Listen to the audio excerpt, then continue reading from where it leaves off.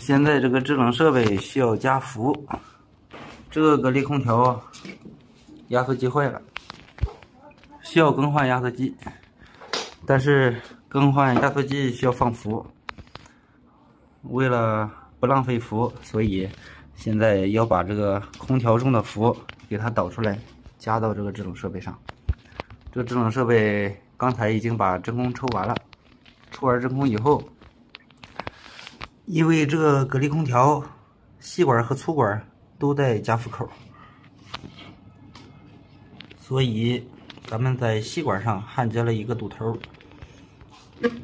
然后再把这个角阀打开以后，制冷剂就可以加到这个制冷设备上。还有一种方法就是，如果你有这个空的氟利昂瓶，也可以把瓶抽真空。然后还是以同样的方法接到这个角阀上，也可以把制冷剂导出来，不浪费。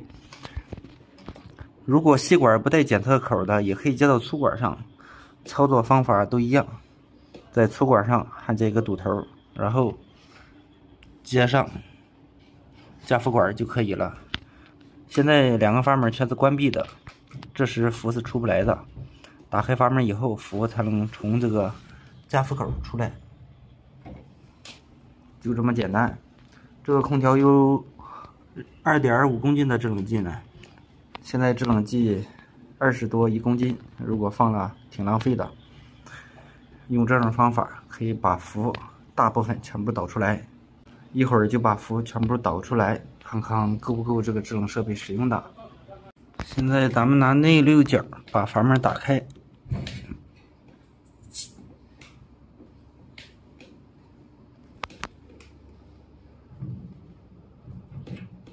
打开以后，把管拧开，排一下空，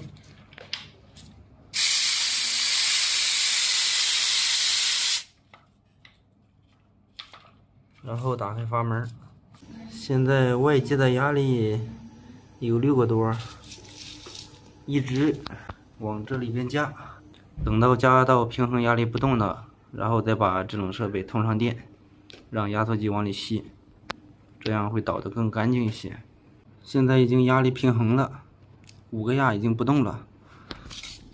咱们把制冷设备通上电，然后开机，设定零下十九度，环境温度二十五点七度，正在延时，一会儿就启动了。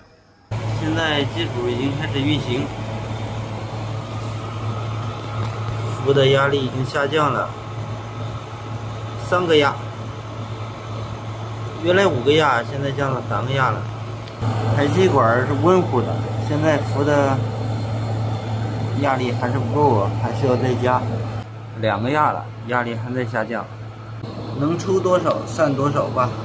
抽了半天，现在抽到一个压了，把这个外机的氟已经抽的差不多了，几乎没有了。这样就把外机中的冷媒全部导出来了，一点不浪费。好了，本期的视频就和大家分享到这里。喜欢视频的朋友，请给一个一圈三连支持一下，咱们下期再见。